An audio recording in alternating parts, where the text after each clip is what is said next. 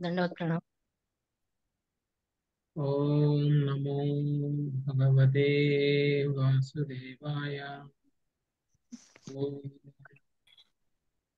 They వాసుదేవాయ they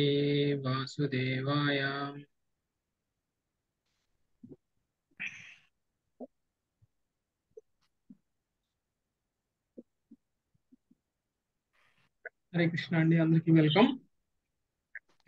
మనం పదవ అధ్యాయం చదువుతున్నాము. పదహారు శ్లోకాలు కంప్లీట్ చేసుకున్నాం ఐదవ స్కందంలో. పదవ అధ్యాయం పదహారు శ్లోకాలు కంప్లీట్ చేసుకున్నాం. ఈ రోజు పదిహేడవ శ్లోకం నుంచి చదువుదాం. సో ఇప్పటి వరకు కూడా రఘుగణరాజు మాట్లాడటం అనేటువంటిది స్టార్ట్ చేశారు. ఇంతకుముందు యాక్చువల్గా మనకి జడభరతుడు మాట్లాడాడు. సో జడవంతుడు ఆల్మోస్ట్ వేదాంతం మాట్లాడడం అనేటువంటిది జరిగింది. సో ఆత్మతత్వం మాట్లాడారు.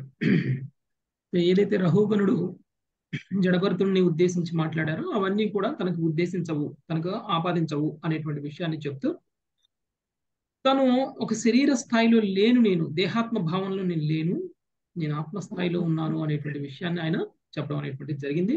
ఆయన ఏదైతే మాట్లాడాడో అవన్నీ కూడా ఆత్మకు సంబంధించింది కాదు దేహానికి సంబంధించింది. నేను ఆత్మని అనేటువంటి విషయాన్ని తెలియజేశాడు. సో అలా తెలియజేసిన తర్వాత ఆయన మాట్లాడినటువంటి వేదాంతం ఏదైతే ఉందో సో దానిని వినినటువంటి రహుగణుడు ఆశ్చర్యపోయాడు. ఈయన మామూలు వ్యక్తి కాదు సామాన్యమైనటువంటి వ్యక్తి అసలే కాదు. ఈయనకి చాలా నాలెడ్జ్ ఉంది. అందుకనే ఈయన ఇంత వేదాంతాన్ని మాట్లాడగలిగారు. సామాన్యులైనటువంటి వాళ్ళు మెచ్యూరిటీ లేనటువంటి వాళ్ళు ఆలోచన లేనటువంటి వాళ్ళు జ్ఞానులు కానటువంటి వాళ్ళు ఇలాగా మాట్లాడరు అనేటువంటి విషయాన్ని ఆయన అర్థం చేసుకుని ముందు ఆయన ఒక వైష్ణవ అపరాధం చేశాను అనేటువంటి విషయాన్ని ప్రథమంగా గమనించారు. అందుకనే ఆయన వెంటనే ఆయన పల్లకి దిగి జడభరతుని యొక్క పాదాల మీద సాష్టాంగ నమస్కారం చేయడం అనేటువంటిది జరిగింది. క్షమాపణ కోరుకోవడం అనేటువంటిది జరిగింది. అలా కోరుకొని నీవు ఎవరివి? ద్విజుడువా? సాధు పురుషుడువా ఎవరు నీ గురువు?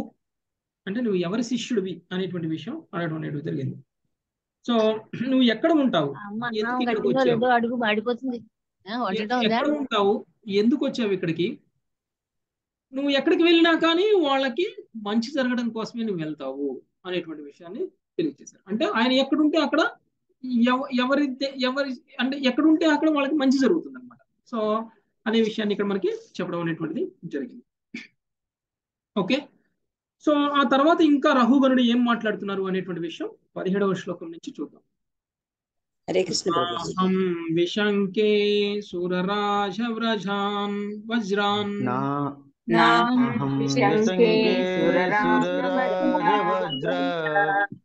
నత్ర్యక్షశూలన్న యమస్య దండాత్. నాజ్ఞాకసోమానిలవిత్తపాస్త్రాజ్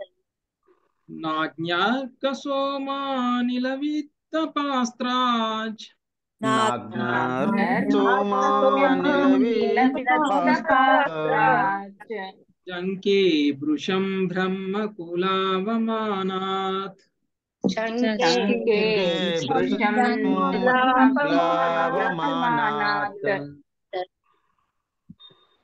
శాంతి మాత చదవండి హరే కృష్ణ ప్రభుజీ స్వామి ఈ ఇంద్రుని వజ్రాయుధమునకు పరమశివుని త్రిశూలమునకు నేను భయపడను. యమరాజు దండనమునకు వెరువను అగ్ని సూర్యచంద్ర వాయువులకు గాని కుబేరుని ఆశ్రములకు గాని భీతిల్లను కాని బ్రాహ్మణుని అవమానించుట అనేది అపరాధమునకు మాత్రము మిగులు భయపడు భయపడుతును ఓకే ఒక రాజు ఒక రాజు ప్రత్యేకించి ఎలా ఉండాలి అనేటువంటి విషయము ఇక్కడ మనకి ఆ నుంచి చూస్తే అర్థమవుతుంది. మొదటిగా ఆయన రజుగుణంలో ఉన్నారు. మామూలుగా చక్రవర్తి కాబట్టి ఆ రాజు కాబట్టి క్షత్రియుడు కాబట్టి రజోగుణంలోనే ఉంటారు. సో రజోగుణంలో ఉన్నటువంటి వ్యక్తి ఇంకొకళ్ళని డామినేట్ చేసి మాట్లాడతారు. సో అదే విధంగా మాట్లాడారు. కానీ మాట్లాడినప్పుడు ఆయన ఏమనుకున్నారు? జడభరతుడు ఒక శూద్రుడు అనుకున్నారు. అందుకని ఒక శూద్రుడితో ఎలా మాట్లాడాలో అలానే మాట్లాడారు. ఎప్పుడైతే జనభరుతుడు నోటితోటి మాట మాట్లాడడం అనేటువంటి జరిగిందో అప్పుడు ఆయనకు అర్థమైపోయింది నేను ఒక శూద్రుడు కాదు అనేటువంటి విషయం. అంటే మాట అనేటువంటిది మన గురించి తెలియచేస్తుంది. మనం మనం ఎంత గొప్పవాళ్ళం ఎంత చిన్నవాళ్ళం ఎంత పెద్దవాళ్ళం అనేటువంటి విషయం మనం మాట్లాడేటువంటి మాటను బట్టి తెలిసిపోతుంది.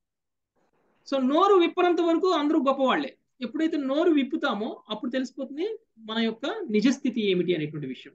ఇక్కడ చూసడానికి అంటే భౌతికంగా వ్యక్తిని చూసి ఒక అంచనాకు వచ్చేసారు రఘుగణుడు కానీ ఆయన గొప్ప వైష్ణవుడు అనేటువంటి విషయం గొప్ప బ్రాహ్మణుడు అనేటువంటి విషయం ఎప్పుడు తెలుసుకున్నాడు అని అంటే ఎప్పుడైతే ఆయన మాట్లాడాడో అప్పుడు తెలుసుకున్నాడు. సో ఆయన ఏమంటున్నాడంటే నేను ఒక క్షత్రియుడిగా ఎవరినైనా ఎదిరిస్తాను. అవసరమైతే దేవతల రాజు అయినటువంటి ఇంద్రుడి వజ్రాయుధాన్నైనా నేను ఎదిరిస్తాను. ఓకే? పరమశివుడి త్రిశూలానికైనా కానీ నేను భయపడను. ఎందుకంటే నేను క్షత్రియుడు కదా అందుకే. సో యమరాజు దండనకు కూడా నేను వెరుగును. అగ్ని సూర్య చంద్ర వాయువులకు గాని కుబేరుని అస్త్రములకు గాని నేను బీతిల్లను. నేను దేనికి భయపడను? కానీ ఒక బ్రాహ్మణుడి యొక్క ఆ అవమానించడం అనేటువంటిది ఏదైతే ఉందో దానికి మాత్రం నేను అపరాధంగా నేను స్వీకరిస్తున్నాను. నేను చాలా తప్పు చేశాను. నువ్వు గొప్ప బ్రాహ్మణుడివి. అందుకని నీకు ఇంత జ్ఞానం ఉంది. సో అంటే ఆయన ఉద్దేశం ప్రకారంగా బ్రాహ్మణుడి ఎడ అపరాధం చేయటం అనేటువంటిది మిగిలిన అన్నిటికంటే కూడా గొప్ప అపరాధం. సో అందుకనే మిగిలిన విషయాలన్నిటి నుంచి కూడా ఆయన ఆయన రక్షించుకోగలడేమో కానీ బ్రాహ్మణుడి ఎడ చేసినటువంటి అపరాధం నుంచి మాత్రం ఆయన ఆయన రక్షించుకోలేడు. అందుకని ఆయన నేను భయపడుతున్నాను అనేటువంటి విషయాన్ని తెలియజేశాను ఓకే చదువు కృష్ణ కృపామూర్తి శ్రీల ప్రభుపాదుల వారి భాష్యం ప్రభుపాదకి జై. ప్రయాగలోని దశాశ్వమేధ ఘట్టము చెంత రూపగోస్వామికి ఉపదేశము కావించినప్పుడు శ్రీ చైతన్య మహాప్రభువు వైష్ణవాపరాధం గురి యొక్క గంభీరతను స్పష్టముగా తెలియజేసిరి వైష్ణవ అపరాధమును ఆ ఆయన మత్తగజముతో పోల్చిరి. మత్తగజము ఉద్యానవనమున ప్రవేశించినప్పుడు ఫలపుష్పములు ఆ నన్నింటిని పాడు చేయును. అదే విధముగా వైష్ణవుని ఎడ అపరాధమునొచ్చిన వాడు సమస్త ఆధ్యాత్మిక సంపత్తులను నష్టమునొచ్చుకొను బ్రాహ్మణుని అవమానించుట అత్యంత ప్రమాదకరమని రహుగణుడు ఎరిగి ఆ కనుకనే తన దోషమును అతడు నిష్కపటముగా అంగీకరించను. వజ్రాయుధము అగ్ని యమరాజు దండనము శివుని త్రిశూలముచే దండన వంటివి అత్యంత ప్రమాదకరమైనవి. కానీ జడభరతును బట్టి బ్రాహ్మణ్ణి అవని అవమానించుట ఎందు అవి ముందు అవి అంతగా గంభీరమైనవి కావు. కనుకనే రఘుగణుడు వెంటనే పల్లకి నుండి దిగి ఆ బ్రాహ్మణుని పాదపద్మములపై పడి క్షమాపణ వేడెను. హరికృష్ణ సో ఆధ్యాత్మికమైనటువంటి జ్ఞానం ఉన్నటువంటి వ్యక్తికి తెలుస్తుంది ఒక బ్రాహ్మణుణ్ణి అంటే ఒక వైష్ణవుణ్ణి అపరాధం చేయటం వైష్ణవుడి అపరాధం చేయటము అనేటువంటిది ఎంత ప్రమాదకరమైనటువంటి విషయము అనేటువంటిది. ఎందుకంటే ఒక వైష్ణవుడి ఈడ అపరాధం చేయటము అనేటువంటిది మన యొక్క ఆధ్యాత్మికమైనటువంటి ప్రగతికి మనకి మనమే అడ్డం వచ్చినట్లు. సో దాన్ని ఒక మత్త గజంతో చూపిస్తున్నారు అనమాట ఒక పచ్చని పంట పొలంలో మత్త గజం పడితే ఏ విధంగా అయితే పచ్చని పంట పొలం పాడైపోతుందో ఆ విధంగా వైష్ణవాపరాధము అనేటువంటిది మన యొక్క ఆధ్యాత్మిక ఉన్నతిని వెంటనే పడేస్తుంది. సో మనం ఆధ్యాత్మికంగా పడుకు కూడా ముందుకు వేయలేము. అందుకని వైష్ణవాపరాధం విషయంలో చాలా జాగ్రత్తగా ఉండాలి. ఆధ్యాత్మిక సంపత్తు మొత్తం కూడా కోల్పోతాం అనమాట అందుకనే ఈయన అంటున్నాడు సో నేను ఆధ్యాత్మికంగా పతనం చెందుతాను. ఎందుకు అని అంటే నేను నిన్ను అవమానించాను కాబట్టి. అంది అది నాకు చాలా భయాన్ని కలిగిస్తుంది. కానీ శివుడి త్రిశూలం కూడా నన్ను భయాన్ని కలి భయాన్ని కలిగించదు. ఇంద్రుడి యొక్క వజ్రాయుధం కూడా నాకు భయాన్ని కలిగించదు. కానీ నేను నీ ఎడ చేసినటువంటి అపరాధం మాత్రం నాకు భయాన్ని కలిగిస్తుంది అనేటువంటి విషయాన్ని చెప్తున్నారు. తద్బ్రూహ్య సంగో జడవన్ని కూడా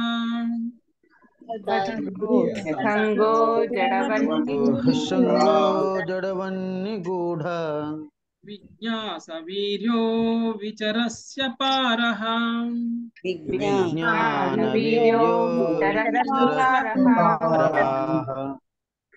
वचांसि साधो।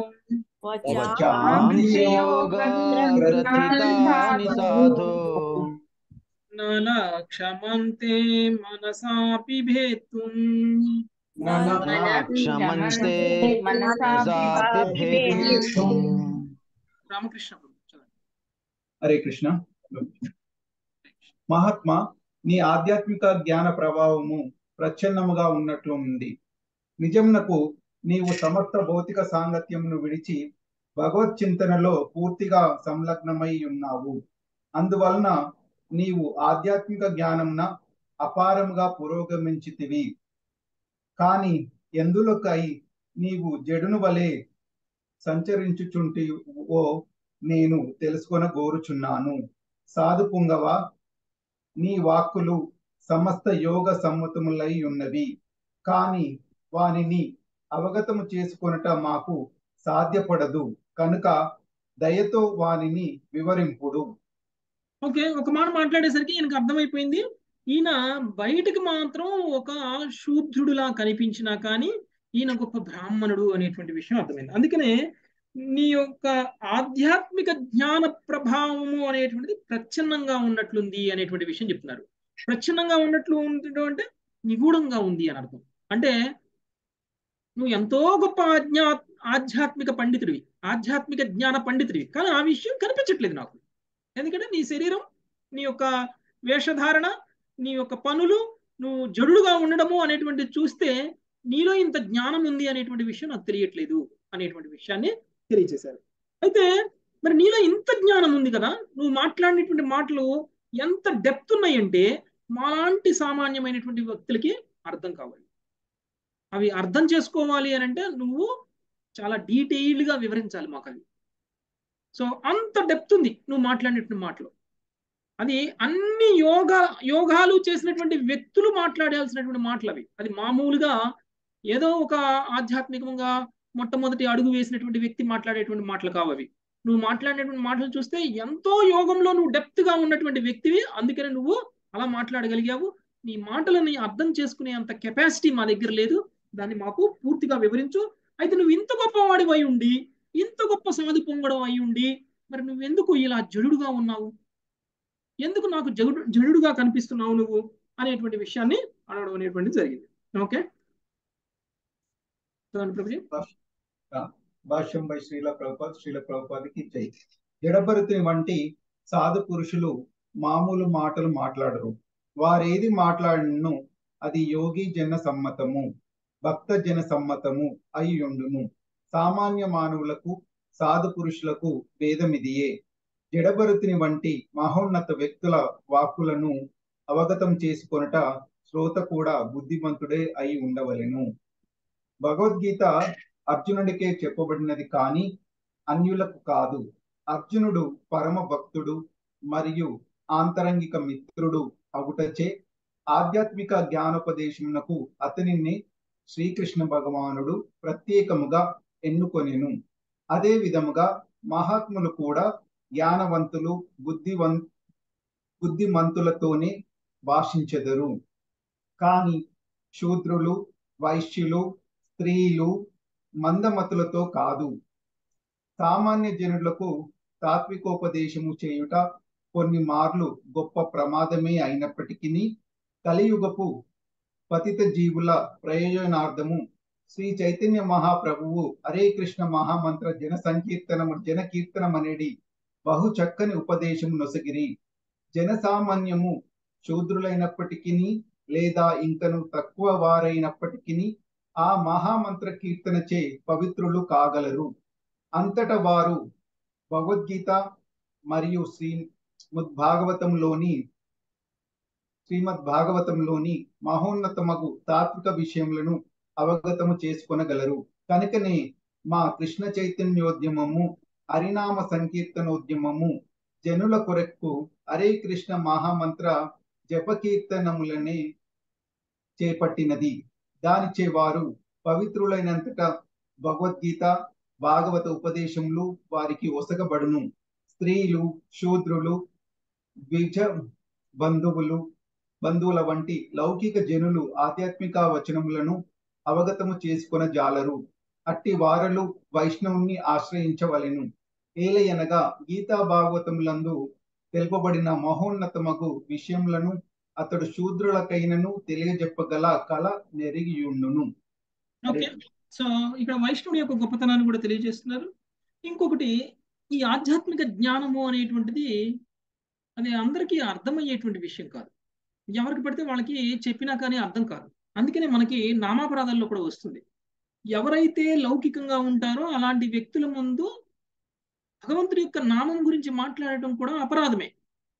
ఎందుకంటే ఆ లౌకికంగా ఉన్నటువంటి వ్యక్తి నామం ఎడ అపరాధం చేస్తాడు. సో ఆ అపరాధానికి మనం కారకులు అవుతాం. సో అందుకని మనకి ఆ భగవంతుడి యొక్క నామాన్ని ప్రచారం చేసేటప్పుడు లౌకికమైనటువంటి వ్యక్తుల ఎడ ప్రచారం చేయకూడదు అనేటువంటిది కూడా ఒక ఇది. అయితే ప్రపాదుల వారు ఏం చెప్తారు అని అంటే ఓకే ఎవరు లౌకికుడో ఎవరు లౌకికుడు కాదో ఎవరు స్వీకరిస్తారో ఎవరు తీసు స్వీకరించడం అనేటువంటి విషయం మనకు తెలియదు కాబట్టి మనము హరినామాన్ని మాత్రం ప్రచారం చేయటము అనేటువంటి దానికి మనము ఎన్నుకొని ఆ వీళ్ళకి చెప్పాలి వీళ్ళకి చెప్పకూడదు అనేటువంటి విధంగా మనం ఒకవేళ చేస్తే మనం ప్రపంచం మొత్తం కూడా హరినామం యొక్క గొప్పతనాన్ని మనం ప్రచారం చేయలేకపోతాం కాబట్టి ప్రయత్నం చేసి చూడటంలో తప్పు లేదు. ప్రయత్నం చేసిన తర్వాత కూడా వ్యక్తి నిరాకరించినప్పుడు లేకపోతే వ్యక్తి హరినామం మీద అపరాధం చేసినప్పుడు మాత్రం అలాంటి వాడి దగ్గరికి మళ్ళీ మళ్ళీ వెళ్ళి ప్రచారం చేయొద్దు అనేటువంటి విషయాన్ని చెప్పడం జరిగింది. అంటే ఆ ఆధ్యాత్మిక జ్ఞానం అనేటువంటిది యాక్చువల్గా ఇప్పుడు భగవద్గీతలో కూడా చూస్తే అది సీక్రెట్ నాలెడ్జ్ ఎందుకు సీక్రెట్ నాలెడ్జ్ మరి అంత బహిర్గతంగా అంత ఇదిగా మనకి భగవద్గీతలో ఉన్నటువంటి ప్రతి శ్లోకం అందరూ చదవచ్చు. సో భగవద్గీతలో కృష్ణుడు చెప్పినటువంటి విషయాన్ని అందరూ వినొచ్చు. మరి ఎందుకు జ్ఞానాన్ని సీక్రెట్ అన్నారు? ఎందుకు జ్ఞానాన్ని సీక్రెట్ అన్నారు అని అంటే భగవంతుడికి సంబంధించినటువంటి ఈ ఆధ్యాత్మిక జ్ఞానం అనేటువంటిది ఓన్లీ భక్తులు మాత్రమే అర్థం చేసుకోగలరు. భక్తులు కానిటువంటి వాళ్ళకి ఈ అర్థం కాదు. అందుకనే మనకి నిన్న ఈ రోజు మనం చూసుకున్నటువంటి శ్లోకంలో చూస్తే భగవద్గీతలో పదమూడు పాయింట్ పంతొమ్మిది ఈ రోజు మనం చూసినటువంటి శ్లోకం. సో భగవద్గీత పదమూడు పాయింట్ పంతొమ్మిదిలో ఏం చెప్పారు? నేను ఏదైతే జ్ఞానాన్ని ఇప్పటి వరకు నేను ఇచ్చానో ఏది? క్షేత్రము క్షేత్రజ్ఞుడు. ప్రకృతి పురుషుడు మళ్ళీ తర్వాత జ్ఞానము జ్ఞేయము ఈ విషయాల గురించి ఏదైతే ఇప్పటి వరకు నేను చెప్పానో ఈ విషయాలన్నీ కూడా నేను సూక్ష్మంగానే తెలియచేశాను అంటే సమ్మరీగా చెప్పాను నేను. మొత్తం పూర్తి జ్ఞానం ఇవ్వలేదు. ఎందుకంటే వాటికి సంబంధించినటువంటి వివరాలు ఇంకా అనేక సందర్భాల్లో వేరే వేరే చోట్ల రావడం అనేటువంటిది జరిగింది. కానీ దాని గురించి కొంచెం పరిచయం చేయడమే జరిగింది. సమ్మరీ చేశారు. క్షేత్రం అంటే ఏంటి? క్షేత్రజ్ఞుడు అంటే ఏమిటి? జ్ఞానం అంటే ఏమిటి? న్యాయం అంటే ఏమిటి? అనేటువంటిది జస్ట్ సమ్మరైజ్ చేశారు. సో డీటెయిల్స్ కావాలి క్షేత్రం గురించి క్షేత్రజ్ఞుడి గురించి అని అంటే మనం సాంఖ్య శాస్త్రం చదవాలి. రెండవ అధ్యాయంలో సాంఖ్య శాస్త్రం ఉంది లేదా కపిల భగవానుడు చెప్పినటువంటి సాంఖ్య శాస్త్రం ఉంది. అవన్నీ చదివితే ఇంకా మనకి పూర్తిగా అర్థమవుతాయి. కాకపోతే అంత విఫులంగా అంత ఎక్స్ప్లెయిన్ చేసి చెప్పే అంత నిగూఢమైనటువంటి లేకపోతే డీప్గా చెప్పేటువంటి అంత సమయం అక్కడ కేటాయించలేదు. అయినా సరే అక్కడ విషయాలు మాట్లాడినవి ఏవైతే ఉందో అవి మాట్లాడినవి అర్జునుడి ముందు మాట్లాడినప్పుడు అర్జునుడితో ఏమన్నారు అని అంటే నేను చెప్పినటువంటి జ్ఞానాన్ని ఓన్లీ భక్తులు మాత్రమే అర్థం చేసుకోగలరు అనేటువంటి విషయాన్ని తెలియజేశారు అంటే అంత డెప్త్ నాలెడ్జ్ని అర్థం చేసుకునేవాలి అని అంటే ముందు మనము భక్తిలోకి రావాలి. భక్తిలో లేకుండా మనము ఆ జ్ఞానాన్ని అర్థం చేసుకోవడం అనేటువంటిది సాధ్యం కాదు. అందుకనే భగవద్గీతను కూడా ఎవరికి పడితే వాళ్ళకి నేర్పలేదు కృష్ణుడు. ఒక గొప్ప భక్తుడైనటువంటి అర్జునుడికి నేర్పారు. అందుకని ఇక్కడ మనకి ఇప్పుడు మనకి ఏదైతే విషయాన్ని జడభరతుడు మాట్లాడాడో అంత ఆధ్యాత్మికమైనటువంటి విషయాలు. ఎంత తత్వం మాట్లాడారు అంటే అంత గొప్ప తత్వాన్ని అర్థం చేసుకునేటువంటి డెప్త్ అనేటువంటిది సామాన్యంగా భక్తులు కానటువంటి వాళ్ళకి ఉండదు. ఏదో అంటున్నాళ్ళే అని అనుకుంటారు కానీ దాంట్లో ఉన్నటువంటి డెప్త్ను మాత్రం ఎవరు అర్థం చేసుకోలేదు. కానీ మహాత్ములు కూడా అర్థం చేసుకోవడం అనేటువంటిది కష్టం. అదేవిధంగా మహాత్ములు కూడా ఆ జ్ఞానవంతులు. మహాత్ములు అంటే ఎవరండి? ఇంతకుముందు మనం చెప్పుకున్నాం. సో మహాత్ములు అంటే ఎవరైతే కృష్ణుడి యొక్క పాద పద్మాలని ఆశ్రయించి ఉన్నారో వాళ్ళు మాత్రమే మహాత్ములు. ఎవరైతే కృష్ణుణ్ణి దేవాది దేవుడిగా అంగీకరించారో వాళ్ళు మాత్రమే మహాత్ములు. మరి మహాత్ములు ఎందుకు అవుతారు వాళ్ళు? జ్ఞానం ఉంది కాబట్టి అవుతారు. ఏమిటి అజ్ఞానం? ఏమిటి అజ్ఞానం జ్ఞానం? అంటే ఏదో సైంటిఫిక్గా అర్థం చేసుకోవడం కాదు కృష్ణుడే లేకపోతే తత్వంతో అర్థం చేసుకోవడం అనే కాదు కృష్ణుడు. కృష్ణుడిని ఫస్ట్ దేవాది దేవుడు అనేటువంటి విషయాన్ని అంగీకరించడం అనేటువంటిది ఏదైతే ఉందో అదే గొప్ప జ్ఞానం. సో ఎవరైతే కృష్ణుడిని దేవాది దేవుడు అని అంగీకరిస్తారో వాళ్ళు గొప్ప జ్ఞానం ఉన్నటువంటి వాళ్ళే. వాళ్ళు మహాత్ములుగానే పరిగణింపబడతారు అనేటువంటి విషయాన్ని తెలియజేశారు. అలాంటి జ్ఞానవంతులు మాత్రమే ఏం చేస్తారు? మనలాంటి జ్ఞానం లేనటువంటి వ్యక్తుల దగ్గరకు వచ్చి భగవంతుడికి సంబంధించినటువంటి ఇలాంటి ఆధ్యాత్మిక జ్ఞానాన్ని మనకి ప్రచారం చేయాలి అనేటువంటి ప్రయత్నం చేస్తారు. మనకు అర్హత లేకపోయినా కానీ. అందుకనే వైష్ణవుల యొక్క సాంగత్యం అనేటువంటిది చాలా చాలా ఇంపార్టెంట్ ఎందుకంటే వైష్ణవుల సాంగత్యంలో మనం కృష్ణ తత్వాన్ని అర్థం చేసుకోగలుగుతాం. వైష్ణవుల యొక్క సాంగత్యంలో మనం కూడా మన యొక్క జ్ఞానాన్ని పెంపొందించుకోగలుగుతాం. ఎప్పుడైతే మన జ్ఞానం పెరుగుతుందో ఆటోమేటిక్గా భక్తి పెరుగుతుంది. ఎప్పుడైతే కృష్ణుడి గురించి గొప్పతనం తెలుస్తుందో ఆటోమేటిక్గా కృష్ణుడి మీద ప్రేమ పెరుగుతుంది. సో అందుకనే మనం భగవద్గీత భాగవతం అనేటువంటిది శ్రవణం చేయటం ఏదైతే ఉందో అది చాలా చాలా ఇంపార్టెంట్ ఇవన్నీ ఎందుకు చేస్తున్నాము అని అంటే మనకి భగవంతుడి మీద ప్రేమ పెరగడం కోసం.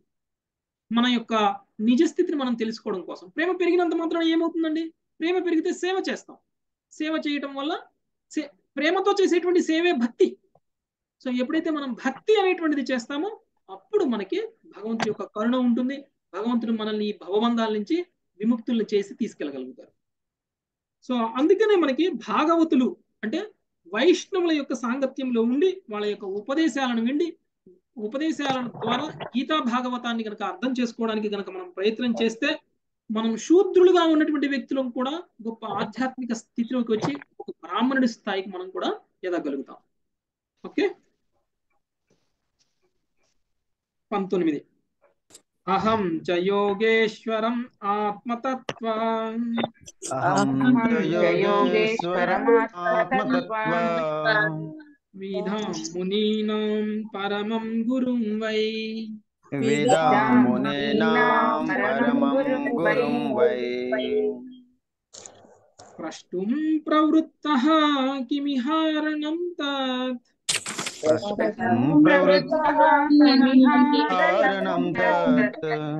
साक्षाद्धरीं ज्ञानकालावतीर्णम्।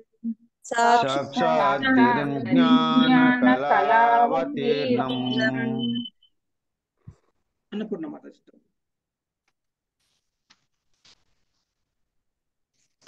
అన్నపూర్ణ మాతాజీ చదవండి ఎస్ ప్రభుజీ నీవు పరమ యోగేశ్వరుడవని నేను భావింతును.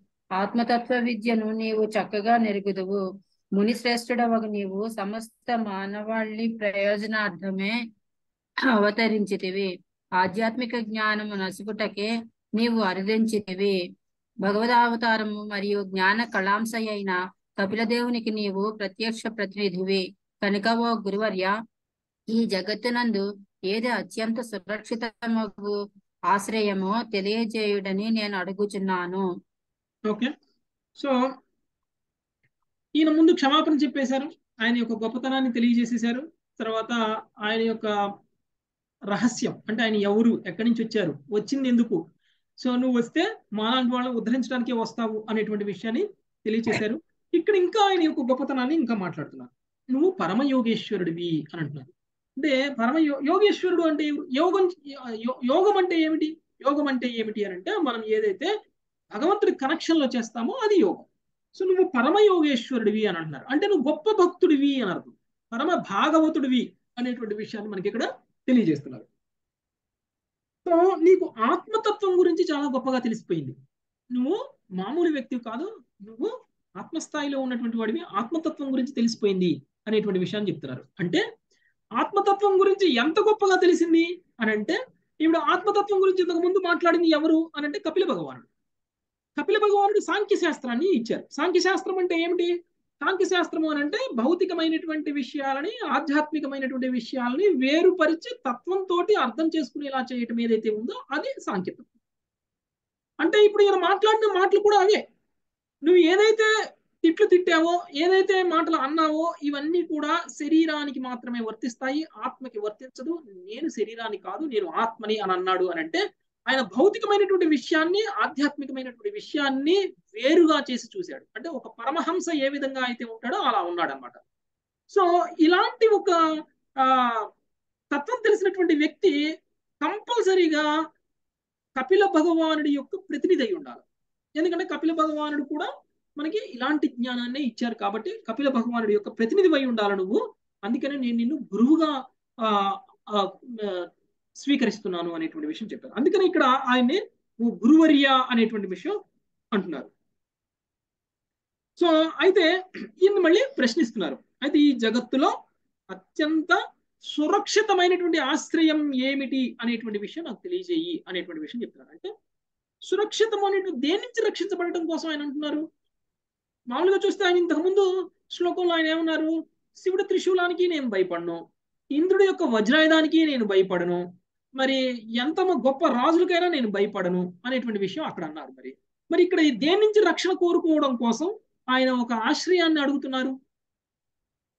ఆయన అడుగుతున్నటువంటి ఆశ్రయం ఏమిటి అని అంటే ఒక మాయ నుంచి రక్షింపబడటము అనేటువంటిది సాధ్యమైనటువంటి విషయం కాదు. ఎవరి ఆశ్రయంలో ఉంటే నేను రక్షింపబడతాను అని అంటే నేను ఆధ్యాత్మికంగానే ఉండగలుగుతాను. నేను భౌతికంగా పతనం చెందకుండా ఉండగలుగుతాను అనేటువంటి విషయాన్ని ఇక్కడ అడుగుతున్నారు. చదవండి చదవండి ప్రభు భాష్యముపై శ్రీ ప్రభుపాద్ శ్రీ ప్రభుపాద్కి జై Bhagavad Gita six point forty seven యందు శ్రీకృష్ణ భగవానుడు ఇట్లు ధ్రువపరిచెను యోగి నామపి సర్వేషాం తేనాంతరాత్మన శ్రద్ధావాన్ భజతేయో మాం సమే యుక్తతమో మత అత్యంత శ్రద్ధతో నా భావన ఎందే నిలిచి ఉండేవాడును నన్నే తన యందు సదా స్మరించేవాడును మరియు నాకు దివ్యమైన ప్రేమయుత సేవను వనరించేవాడును అగు యోగి యోగులందరికన్నను అత్యంత సన్నిహితముగా నాతో యోగమునందు కూడినట్టి వాడై ఉన్నాడు. సర్వులలో అతడే అత్యున్నతుడు. జడభరతుడు పరిపూర్ణ యోగి. గతమున భర్త మహారాజు అయిన అతడు ఇప్పుడు మునులలో అత్యంత శ్రేష్ఠుడు యోగీశ్వరుడు అయినాడు. అతడు సామాన్య జీవుడే అయినప్పటికీ కపిల భగవానుడు. వసగినట్టి సమస్త జ్ఞానమునకు వారసుడయ్యాను. కనుక జడభరతుని సాక్షాత్తుగా భగవంతుడని భావించవచ్చు. దీనినే శ్రీల విశ్వనాథ చక్రవర్తి ఠాకూరులు తమ రచనయగు గురువాష్టకములో సాక్షాత్ దరిత్రేణ సమస్త శాస్త్రై అని ధ్రువపరిచిరి. ఇతరులకు జ్ఞానమొసగుచు భగవంతునికి పూర్తిగా ప్రాతినిధ్యం వహించడి కారణమున జడభరతుని వంటి మహాత్ముడు ఆ దేవదేవునికి సమానుడై ఉండును. భగవంతుని పక్షమున జ్ఞానం అసుకుచున్నందున జడభరతుడు ఇచ్చట దేవదేవునికి ప్రత్యక్ష ప్రతినిధిగా అంగీకరించబడెను. కనుక అతనిని ఆత్మతత్వమును గూర్చి అడుగుట యుక్తమని రఘుగణుడు సారాంశపరిచెను. తద్విజ్ఞానార్థం స గురుమే నాభిగచ్చేత్ ఈ వేదోపదేశము కూడా ఇచ్చట నిర్ధారణము చేయబడినది. ఎడ ఎవడేని ఆత్మతత్వము బ్రహ్మ జిజ్ఞాస ఎరుగుటకు ఎందు అభిరుచి కలిగి ఉన్నచో జడభరతుని వంటి గురువును ఆశ్రయించవలెను. హరే కృష్ణ ప్రభుజీ. ఓకే. సో ఈయన పరమయోగి అనేటువంటి విషయాన్ని కూడా తెలియచేశారు. ఎవరి గురించి? పరమ యోగేశ్వరుడు అనేటువంటి విషయాన్ని తెలియచేశారు. అంటే ఇప్పుడు ఎవరైతే భగవంతుడికి సంబంధించినటువంటి జ్ఞానాన్ని భగవంతుడి తరపున ప్రచారం చేస్తారో ఆయన భగవంతుడిగానే స్వీకరించడం అనేటువంటిది జరుగుతుంది. అందుకనే మనం గురువుని దేవాది దేవుడితో సమానంగా చూస్తాం కృష్ణుడితో సమానంగా చూస్తాం. అలానే గురువు తను తాను నేను కృష్ణుడిని అని చెప్పుకోడు.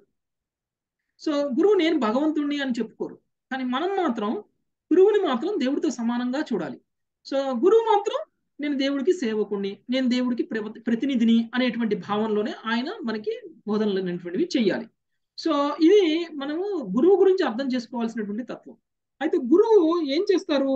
అంటే భగవంతుడికి సంబంధించినటువంటి తత్వాన్ని భగవంతుడి తరపున మనకి ఇస్తారు కాబట్టి మనం భగవంతుడితో సమానంగానే చూస్తాం అందుకని మనకి గురువాష్టకంలో వస్తుంది. సాక్షాత్ ధరిత్రేణ సమస్త శాస్త్రై అనేటువంటి విషయం. అంటే వీళ్ళు ఈ సమస్త శాస్త్రాలకి సంబంధించినటువంటి జ్ఞానాన్ని మనకి ఒక గురువుగా మనకి అందించడం అనేటువంటి జరుగుతుంది. అలాంటి గురువు మనము భగవంతుడితో సమానంగా చూస్తాము అనేటువంటి విషయం మనకి గురువాష్టకంలో వస్తుంది అనమాట ఇక్కడ కూడా మనకి చూస్తే జడభరతుడు మరి ఆత్మతత్వాన్ని బోధించాడు. మరి ఆత్మతత్వాన్ని బోధించినటువంటి వ్యక్తి కూడా కపిల భగవానుడు. అంటే కపిల భగవానుడికి ఆయన ఆ ఒక ప్రతినిధిగా ఉన్నారు. అంటే భగవంతుడికి ప్రతినిధిగా ఉన్నారు ఇక్కడ ఆయన.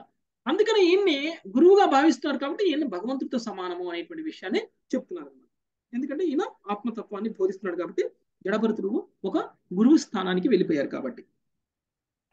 ఓకే?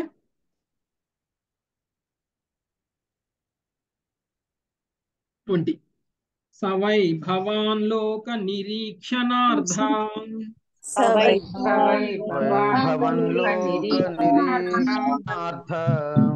मव्यक्तलिङ्गो विचरत्यपि स्वीत् मव्यक्तलिङ्गो विचरत्यपि योगेश्वराणां गतिमन्दबुद्धिः। योगेश्वराणां गतिमन्दबुद्धिः कथं विचक्षीतगृहानुबन्धः। कथं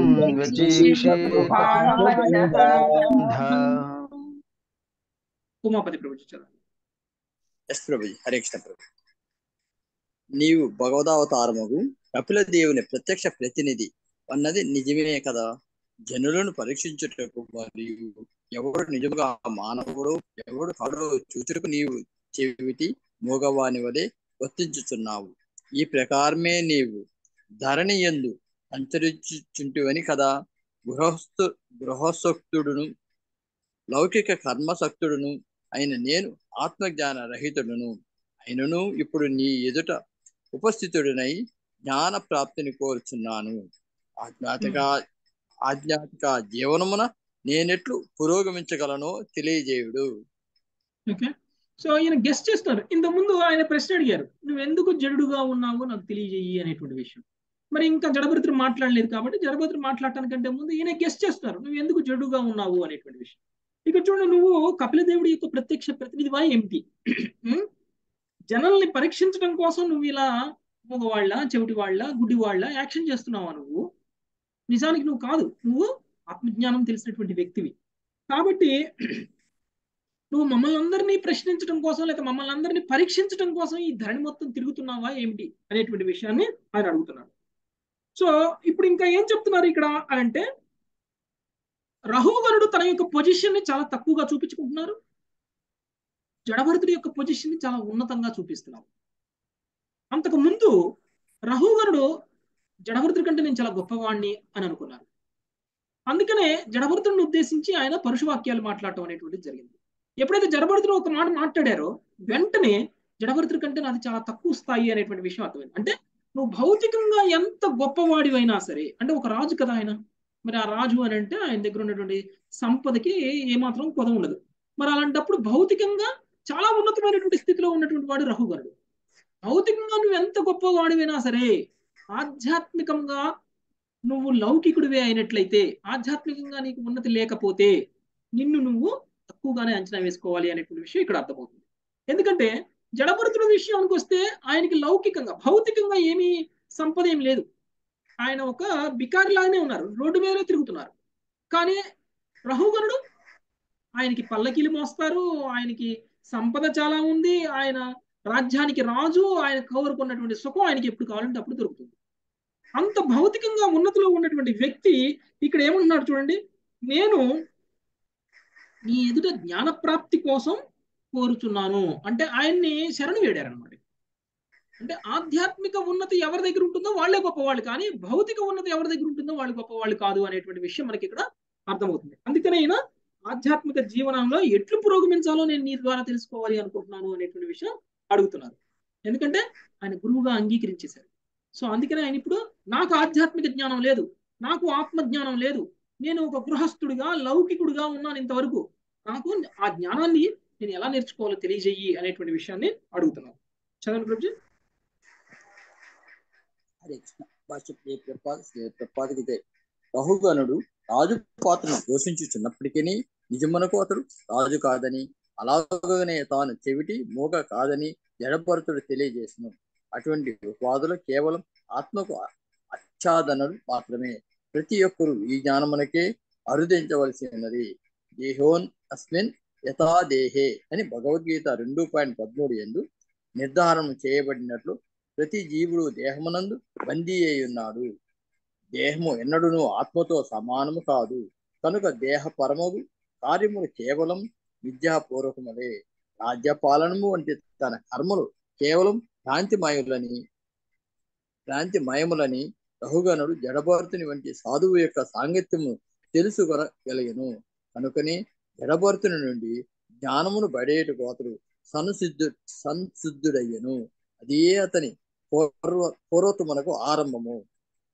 తద్విజ్ఞానార్థం స గురువే గురియేరాభి గచ్చేత్ జీవిత విలువలను ఆత్మతత్వమును తెలుసుకున్న ఎందు పనమ జిజ్ఞాసునమైన రహుగణుని వంటివాడు జడభర్తుని వంటి మహాత్ముని దరిచేయవలసి ఉండును. తస్మాత్ గురు గురుం ప్రపద్యతే జిజ్ఞాశ్రేయ ఉత్తమం. భాగవతం పదకొండు పాయింట్ మూడు పాయింట్ ఇరవై ఒకటి మానవ జన్మ లక్ష్యమును గూర్చి విచారించుట. మనుజుడు భగవత్ ప్రతినిధియగు జడభర్తుని వంటి గురువును తప్పక ఆశ్రయించవలేను. సో సో రఘుగణుడు క్లియర్గా తెలియచేసేసారనమాట సో నేను ఒక రాజునే అయినా కానీ అంటే ఇప్పుడు ఆయన రాజ్య పదవి ఏదైతే ఉందో అది ఆయన ఐడెంటిఫికేషన్ కాదు. అలానే మరి జడభరతుడు ఉన్నాడు. సో జడభరతుడు కళ్ళు లేని వాళ్ళలాగా లేకపోతే మాట లేని వాళ్ళలాగా లేకపోతే చెవులు చెవిటి వాళ్ళలాగా ప్రదర్శించాడు. అదంతా కూడా భౌతికంగా ఆయన ప్రదర్శించినటువంటి ప్రదర్శన. అది కూడా ఆయన కాదు. అంటే భౌతికమైనటువంటి ఏదైతే ఉన్నావో ఇవన్నీ కూడా ఆత్మకి ఉన్నటువంటి ఆచ్ఛాదనం లాంటిది. అంటే మనము ఆత్మతోటి గుర్తింపబడాలి కానీ ఈ భౌతికమైనటువంటి శరీరంతో గుర్తింపబడటం కాదు లేకపోతే భౌతికమైనటువంటి పదవులతో గుర్తింపబడటం కాదు అనేటువంటి విషయాన్ని ఇక్కడ అర్థం చేసుకున్నాడు. అందుకనే ఆయన జ్ఞానం కోసం ఆయనకి లేనటువంటి జ్ఞానం కోసం. ఏదైతే జ్ఞానం జడభరతుడి దగ్గర ఉందో ఏదైతే జ్ఞానం రహుగరుడి దగ్గర లేదో ఆ లేనటువంటి జ్ఞానం కోసం ఆయన ఆ ఈ యొక్క జడభరతుడిని ఆశ్రయించడం అనేటువంటిది జరిగింది. సో ఇక్కడ ఎప్పుడైతే మనం ఆధ్యాత్మికమైనటువంటి జ్ఞానాన్ని తెలుసుకోవాలి అని అనుకుంటున్నామో అప్పుడు మనకి ఒక గురువు అనేటువంటి వాడు తప్పనిసరిగా అవసరం. అందుకనే రఘుగణుడు జడభరతుడిని గురువుగా ఎన్ను ఎన్నుకోవడం అనేటువంటిది జరిగింది. సో ఆయన అందుకనైనా నాకు ఆధ్యాత్మిక జ్ఞానాన్ని ఉపదేశించు అనేటువంటి విషయాన్ని కోరుకుంటున్నారు జడభరతుడి నుంచి. దృష్ట శ్రమ కర్మత ఆత్మనో వై. శ్రమ కర్మత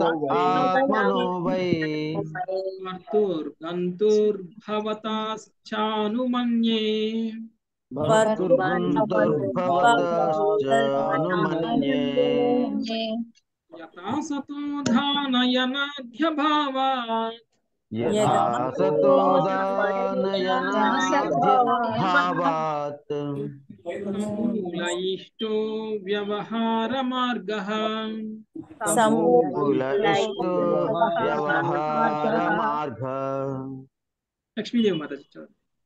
హరే కృష్ణ ప్రభుజీ శ్రమచే అలసిపోలేదని నీవు పలికితివి ఆత్మ దేహమునకు భిన్నమైనప్పటికీ దేహ పరిశ్రమ వలన అలసట కలిగి అది ఆత్మ యొక్క అలుపు వలనే గోచరించును. నీవు పల్లకిని మోయినప్పుడు నిక్కముగా ఆత్మ కూడా శ్రమించినని నేను తలంచుతున్నాను. స్వామి వృత్తుల నడుమ ప్రదర్శితమయ్యడి బాహ్య వ్యవహారము వాస్తవమైనది కాదని కూడా నీవు పలికితివి. కానీ ఈ దృశ్యమాన జగత్తు యథార్థము కాకున్నను దాని ఫలములు నిజముగా విషయ ప్రభావమును చూపుచుండును. అది దర్శనీయమే. అనుభవైక వైద్యమే. లౌకిక కర్మలు తాత్కాలికముల వలె అయినను వానిని అసత్యమని చెప్పజాలము. ఓకే. సో నువ్వు మాట్లాడావు చాలా గొప్ప ఆత్మజ్ఞానాన్ని మాట్లాడావు. దేహానికి సంబంధించింది ఆత్మకు సంబంధించిన విషయాలన్నింటినీ మాట్లాడావు. ఆత్మ యొక్క అసలు ఆ స్థితిని తెలియచేశావు. ఏదైతే ఇప్పుడు శ్రమ అనేటువంటి విషయం గురించి నువ్వు మాట్లాడావో శ్రమ అనేటువంటిది దేహానికి సంబంధించింది ఆత్మకు సంబంధించింది కాదు అనేటువంటి విషయాన్ని చెప్పావు. అంటే ఇంతకు ముందు అన్నాడు కదా ఎందుకు మొయ్యలేకపోతున్నావు? అని అన్నాడు కదా. మోయడము అనేటువంటిది శ్రమించడము అనేటువంటిది లేకపోతే బలాన్ని బలాన్ని కలిగి ఉండడము లేకపోతే వీక్గా ఉండడము అనేటువంటిది ఆత్మకి సంబంధించింది కాదు అనేటువంటి విషయాన్ని చెప్పారు కదా అది. సో దాన్ని బట్టి చూస్తే మనకు అర్థమవుతుంది నేను నీకు ప్రభువుని నువ్వు నాకు సేవకుడివి అనేటువంటి విషయము మనకి ఇక్కడ జస్ట్ ప్రదర్శితమవుతుంది అంతే కానీ అది నిజం కాదు. ఎందుకంటే మనకి భౌతికంగా కనిపించేదే నిజం అనుకుంటాం. భౌతికంగా కనిపించింది నిజం అని అనుకోం కాబట్టి మనకి ఇప్పుడు కనిపిస్తున్నది ఏమిటి అంటే నేను ఒక రాజుని నువ్వు ఒక సేవకుడివి. ఇది మాత్రమే మనకు కనిపిస్తుంది. అంటే భౌతికమైనటువంటి ఐడెంటిఫికేషన్ ఏదైతే ఉందో అది సత్యం కాదు అనేటువంటి విషయాన్ని నువ్వు తెలియచేసావు. కరెక్టే కానీ ఇప్పుడు మనము ఈ భౌతిక లోకంలోనే ఉన్నాం. ఈ భౌతిక విశ్వం అనేటువంటిది ఏదైతే ఉందో అది యథార్థం కాకపోయినా కానీ అంటే మనం చూడగలుగుతున్నది ఏదైతే ఉందో అది యథార్థం కాకపోయినా కానీ మరి మనకి కనిపిస్తుందంతా కూడా ఏదైతే ఉందో అది మనం సత్యము అని చెప్పలేము అనేటువంటి విషయాన్ని చెప్తున్నాము. అంటే మనము కనిపిస్తుంది కదా లౌకిక కర్మలు ఏవైతే చేస్తున్నామో అవి కూడా తాత్కాలికమే అయినా కానీ అంటే ఇప్పుడు మనం మనకు చూస్తున్నాం ఏదో కొంత కనిపిస్తుంది మనం చేస్తున్నాం దానికి ఫలాన్ని అనుభవిస్తున్నాము ఇవన్నీ కూడా అసత్యమని ఎలా పలకగలను నేను? సో నువ్వు ఎంత నువ్వు అసత్యము అని అన్నా కానీ అది ఎంత అసత్యమని నేను ఒప్పుకున్నా కానీ కానీ అసత్యమని ఒప్పుకోవడానికంటే ముందు దాన్ని ఎలా మనం ప్రూవ్ చేయాలి అనేటువంటి విషయాన్ని ఆయన అంటున్నారు అనమాట చదవండి భాష్యము. మాయావాదుల నిరాకార తత్వము వైష్ణవుల అభ్యాస సిద్ధమైన తత్వముల చర్చయే ఇది. ఈ దృశ్యమాన జగత్తును మాయావాద తత్వము మిథ్యయని వివరించను. కానీ వైష్ణవ తత్వవే తత్వవేత్తలు దానిని అంగీకరించరు. ఈ వ్యవహార జగత్తు తాత్కాలికమే కావచ్చు. కాని మిథ్య కాదని వారెరుగుదురు. రాత్రి అందు అనుభూతమయ్యడి స్వప్నము నిక్కముగా మిథ్యయే కావచ్చును. కాని భయంకరమగు కల దానిని చూచువానిని నిక్కముగా ప్రభావితము చేయును కదా. ఆత్మ యొక్క అలసట వాస్తవమైనది కాదు. కాని జీవుడు దేహాత్మ భావనలో మునిగి ఉన్నంత వరకు అట్టి మిథ్యా స్వప్నములచే ప్రభావితులగుచుండును. స్వప్నం నందు వాస్తవమైన విషయములను విడిచివేయుట సాధ్యం కాదు. అనగా బద్ధజీవి తన స్వప్నము వలన కష్టములకు గురి అయ్యుండును. కుండ మట్టితో తయారు చేయబడును. అది తాత్కాలికమైనది. నిజమునకు ఉన్నది మట్టియే గాని కుండ కాదు. అయినను అది నీటిని పదల పదిలపరచగలిగినంత వరకు దానిని ఆ విధముగా మనము వాడుకొనవచ్చును. కుండ పూర్తిగా మిథ్యయే అని చెప్పజాలము. హరే కృష్ణ ప్రభుజీ. ఓకే. సో ఏదైతే జగత్తు ఉందో అది మిథ్య కాదు అనేటువంటి విషయం మనము అర్థం చేసుకోవాలి. వైష్ణవుడు దీన్ని ఒప్పుకోడు. జగత్తు మిథ్యం అని అంటే ఒప్పుకోడు.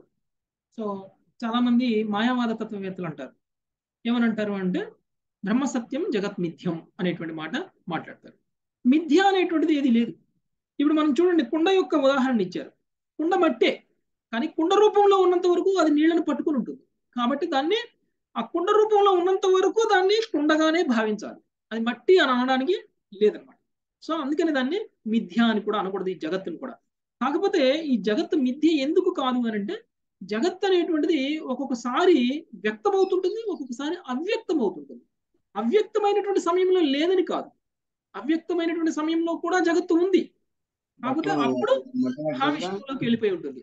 సో అది మహావిష్ణువులోకి వెళ్ళిపోవడం వల్ల మనకి అది అవ్యక్తం అవుతుంది సో ఏ విధంగా అయితే సూర్యుడు పడమరికి వెళ్ళి అస్తమించగానే అవ్యక్తం అయిపోతాడు సో అవ్యక్తం అయిపోయినటువంటి సూర్యుడు మనకి లేడు అని చెప్పడానికి లేదు. వ్యక్తమైన మనకి కనిపించకపోయినా కానీ సూర్యుడు అయితే మాత్రం ఉంటాడు. సో అదే విధంగా జగత్తు మిథ్య అని పలికేటువంటి మాట ఏదైతే ఉంటుందో అది పూర్తి జ్ఞానం లేనటువంటి వ్యక్తి మాట్లాడేటువంటి మాట అనేటువంటి విషయాన్ని చెప్తున్నారు అనమాట ప్రభుపాదుల వారు. ఇంకొకటి ఆ మనకి కళతో పోలుస్తున్నారు.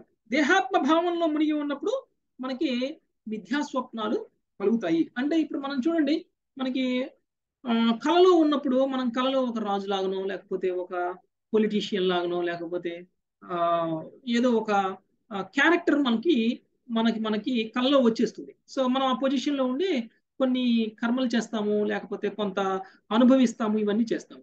మరి కళలో ఉన్నటువంటి సమయంలో మనము అసలు నిజమైనటువంటి మన శరీరాన్ని నిజమైనటువంటి మన క్యారెక్టర్ని మర్చిపోతాం. ఎందుకంటే అప్పుడు నేను రాజులనే అనుకుంటాను రాజుగానే భావిస్తాను రాజుగా నేను ఏమైతే ఎదుర్కొంటున్నానో అవే నేను కష్టము అని అనుకుంటా. లేదంటే ఒక పొలిటీషియన్గా నేను ఏదైతే మాట్లాడుతున్నానో అవే నిజము అనుకుంటా అది నాకు సంబంధించిందని అనుకుంటా ఆ భావంలోనే ఉండిపోతాను ఎప్పుడైతే ఆ కళలో నుంచి బయటకు వచ్చేస్తామో అప్పుడు మన యొక్క నిజస్వరూపం మన యొక్క నిజమైనటువంటి ఆ శరీరం అనేటువంటిది మనకు గుర్తొస్తుంది. అప్పుడు మనం మనం నిజ మనం ఎప్పుడైతే నిజమైనటువంటి డే టైంలో ఉన్నామో అప్పుడు రాత్రిపూట మనం పొందినటువంటి ఏదైతే ఉంటుందో కళకు సంబంధించినటువంటి శరీరం వాటిని మళ్ళీ మర్చిపోతాం. అది నిజం కాదనుకుంటాం. అట్లనే ఈ భౌతిక జగత్తులో కూడా మనము ఉన్నంత కాలము నిజమనే అనుకుంటాం. లేనప్పుడు అది అవ్యక్తం అవుతుంది సో అవ్యక్తమైనప్పుడు మనము మన ఈ శరీరం కూడా ఈ శరీరంతో ఉన్నటువంటి మనం కూడా ఈ జన్మలో ఉన్నటువంటిది మొత్తం కూడా మనము కలలో ఉన్నప్పుడు ఏ విధంగా అయితే అదే నిజము అదే శాశ్వతం అని అనుకుంటున్నామో అదే విధంగా మనం కూడా ఈ శరీరంలో ఉన్నటువంటి మనము ఈ శరీరానికి సంబంధించినటువంటి విషయాలన్నిటికీ కూడా మనము ఐడెంటిఫై అయ్యి మనం ఇదే నిజం అనుకుంటాం ఎప్పుడైతే ఈ శరీరాన్ని వదిలేస్తామో కళ నుంచి బయటకు వచ్చినట్లు ఇంకొక శరీరాన్ని తీసుకుంటాం అనమాట అంటే పగటి పగటి సమయంలో ఉన్నటువంటి శరీరము రాత్రి నిద్రపోతున్నప్పుడు కళలో ఉన్నటువంటి శరీరం వేరు. రెండు క్యారెక్టర్స్ వేరు. రెండు భావాలు వేరు. అలానే ఈ శరీరాన్ని వదిలేసి ఇంకొక శరీరం తీసుకోగానే ఈ శరీరానికి సంబంధించిందంతా కూడా మిథ్య. మనకి మళ్ళీ కొత్త శరీరంలో ఉన్నప్పుడు మనకు ఉన్నటువంటి బంధాలు కొత్త శరీరంలో ఉన్నప్పుడు మనకు ఉన్నటువంటి కర్మలు ఏవైతే ఉంటాయో అవి నిజం అనిపిస్తుంది. ఇవన్నీ మిథ్య అనిపిస్తుంది. సో కాబట్టి మనకి ఎంత మిథ్య అని అనిపించినా కానీ ఇది జగత్తు అనేటువంటిది నిజంగా మిథ్య కాదు. అది ఎప్పుడూ కూడా శాశ్వతమైనదే అనేటువంటి విషయం మనకి తెలుసుకోవాలి. జీవుడు ఎలా శాశ్వతమో భౌతిక ప్రకృతి కూడా అలానే శాశ్వతం కాకపోతే వ్యక్త అవ్యక్తము అవుతూ ఉంటుంది అనమాట ఓకే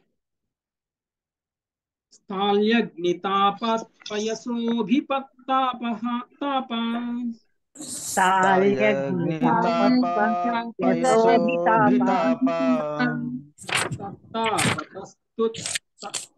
తస్తాపతస్తుల गर्भरन्धिः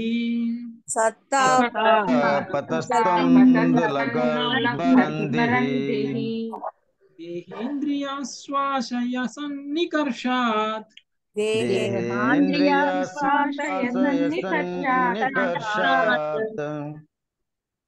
तत्संसृतिः पुरुषस्यानुरोधात्।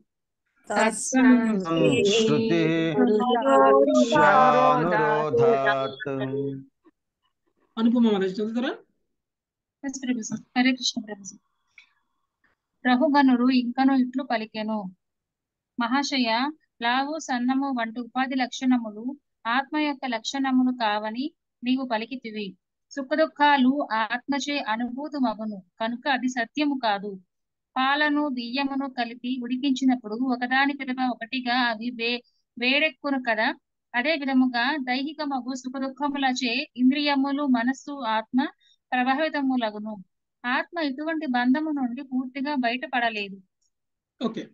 సో నువ్వు ఎంత చెప్పినా కానీ అది ఆత్మ వేరు ఆ, శరీరం వేరు అనేటువంటి విషయాన్ని నువ్వు ఎంత గొప్పగా చెప్పినా కానీ దాన్ని దాని నుంచి మనం అట్లా కంప్లీట్గా బయటపడలేము. ఆ విషయాన్ని నమ్మి ఆత్మస్థాయిలో ఉండడము అనేటువంటిది సాధ్యమయ్యేటువంటి విషయం కాదు అనేటువంటి విషయాన్ని నేను ఇండైరెక్ట్గా చెప్తున్నాను అనమాట ఎందుకంటే నువ్వు చెప్పావు ఏమని చెప్పావు? లావు సన్నం బలంగా ఉండడం బలంగా లేకపోవడము ఇలాంటివన్నీ కూడా శరీరానికి సంబంధించినటువంటి లక్షణాలు కానీ ఆత్మకు సంబంధించినవి కావు సుఖ దుఃఖాలు అనేటువంటివి కూడా ఆత్మకు సంబంధించినవి కాదు శరీరానికి సంబంధించినవి అని అన్నావు. కానీ శరీరానికి సంబంధించినటువంటి సుఖ దుఃఖాలు కూడా మనసుని ఆత్మని ప్రభావితం చేస్తాయి అనేటువంటి విషయాన్ని ఆయన చెప్తున్నాడు. ఇంద్రియాలను కూడా ప్రభావితం చేస్తాయి. సో కాబట్టి ఈ యొక్క భౌతిక విశ్వంలో ఉన్నంత కాలం మనం వీటికి సంబంధించినటువంటి విషయాల నుంచి పూర్తిగా బయటపడలేము అనేటువంటి విషయాన్ని చెప్తున్నారు చదవండి మాతజీ. భాష్యము. రఘుగణుడు ప్రతిపాదించిన వాదము వ్యవహారిక దృష్టిలో సత్యమే అయినను అది దేహాత్మ భావన ఎందు తదాత్మయము వలన ఉత్పన్న మగుచున్నది కారులో ప్రయాణించడి వ్యక్తి ఆ కారుకు నిక్కముగా భిన్నమే అయినను అది పాడైనప్పుడు దాని ఎందుగల అమితాశక్తి చేతడు బాధను అనుభవించును. నిజమునకు కారుకు కలిగిన హానితో కారు యజమానికి ఎట్టి సంబంధము లేదు. కానీ దానితో గల తదాత్మ్యము వలన ఆ యజమాని ఆ కారుతో ముడిపడి ముడిపడి ఉన్న సుఖదుఖములను అనుభవించుచుండును. కారుపై గల ఆసక్తి తొలగినప్పుడు అట్టి బద్ధస్థితి తొలగిపోగలదు.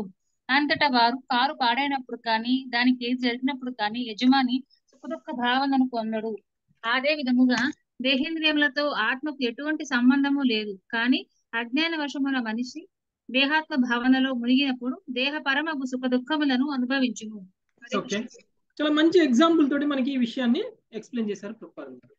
సో రహుగరుడు అన్నాడు నువ్వు ఎంత ఆత్మవైనా కానీ ఇంద్రియాల ద్వారా శరీరం ద్వారా కలుగుతున్నటువంటి సుఖ దుఃఖాలకి ఆత్మ చెలిస్తుంది అనేటువంటి విషయం. దీన్ని ప్రభుపాద వారు ఒక ఎగ్జాంపుల్తో ఎక్స్ప్లెయిన్ చేస్తున్నారు మనం కారులో కూర్చుని ఉన్నాం. ఈ కారు ఏదైతే ఉందో కారులో కూర్చున్నటువంటి వ్యక్తి ఆత్మ. కారు ఏదైతే ఉందో ఆత్మకి ఉన్నటువంటి భౌతికమైనటువంటి ఆచారం అంటే భౌతిక శరీరం. మరి శరీరానికి వేరు కారు వేరు. కదండి? శరీరం వేరు ఆత్మ వేరు. అలానే కారు వేరు కారులో కూర్చున్నటువంటి డ్రైవర్ వేరు. అలానే కారులో కూర్చున్నటువంటి డ్రైవర్ కారు నుంచి ఎంత సపరేట్ వేరే విషయం అయినా కానీ మనం కారులో డ్రైవింగ్ చేస్తూ ఉన్నప్పుడు ఎవరైనా ఒక రాయి ఇసిరేసారనుకోండి కారు మీదకి. మన మన డ్రైవర్ సీట్ వైపు ఉన్నటువంటి అద్దం మీదకి ఎవరైనా రాయి ఇసిరేసారనుకోండి మన యొక్క రియాక్షన్ ఎలా ఉంటుంది? వెంటనే వెంటనే అది మనకి నిజంగానే తగిలినట్టు ఫీల్ అవుతాం లేదంటే మన మీద నీళ్ళు చల్లారనుకోండి కారు బయట నుంచి నీళ్ళు చల్లారనుకోండి గ్లాసులు మూసేసి ఉన్నా కానీ ఆ నీళ్ళు మన మీద తగలవనే విషయం మనకు తెలిసినా కానీ మన మీద ఎక్కడ నీళ్ళు పడుతున్నాయో అని భయంతో మనం తల వంచడము లేకపోతే ఆ నీళ్ళు మన మీద పడకుండా ఉండడం కోసం ప్రయత్నించడము అనేటువంటిది మనం చేస్తాం. అంటే రాయి వేసినప్పుడు కూడా రాయి మనకు తగిలిద్దేమో అని ఒకసారి ఉలికి పట్టము ఆ రాయి మనకు తగలకుండా ఉండడం కోసం తప్పించుకోవాలనే ప్రయత్నం చేయడం అనేటువంటి చేస్తాం. కానీ మనకు తెలుసు ఆ రాయి వేస్తే కారుకు తగులుతుంది కానీ మనకి తగలదు. కానీ అక్కడ మనము కారుకు తగిలినటువంటి దెబ్బని మనకి తగిలినటువంటి దెబ్బగా మనం ఫీల్ అవుతాం. ఎంతకాలం అది అంటే ఎప్పుడు వరకు అని అంటే మనము ఎప్పుడైతే ఈ కారు వేరు మనం వేరు అనేటువంటి విషయాన్ని ఎప్పుడు వరకు అయితే మనం తెలుసుకోగలుగుతాం అప్పటి వరకు మనం అలాంటి ఫీలింగ్లోనే ఉంటాం. ఎప్పుడైతే ఈ కారు వేరు కారుకి దెబ్బ తగిలినా కానీ నాకేం కాదు. కారు గ్లాస్ పగిలిపోయినా కానీ నాకేం కాదు.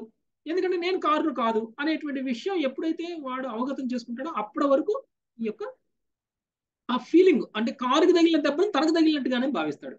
అదేవిధంగా ఈ శరీరానికి సంబంధించినటువంటి సుఖ దుఃఖాలని ఆత్మకి సంబంధించినటువంటి సుఖ దుఃఖాలుగా ఎప్పటి వరకు భావిస్తాడు అని అంటే దేహాత్మ భావంలో ఉన్నంత వరకు భావిస్తాడు.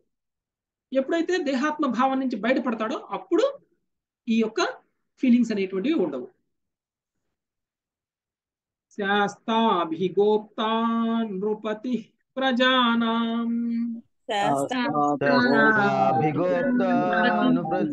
ప్రజానాం.